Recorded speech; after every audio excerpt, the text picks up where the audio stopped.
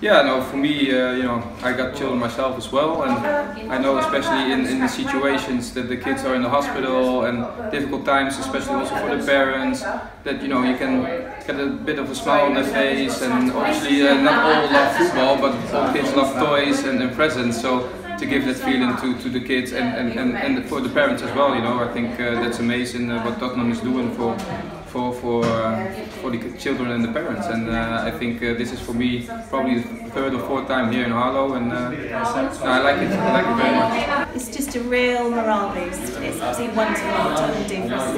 And it's lovely to invite them here again and for their generosity. And as Michelle says, it really, really brightens up the children's day boosts the parents' morale, boosts the staff morale, and it's just a wonderful, wonderful thing that they do.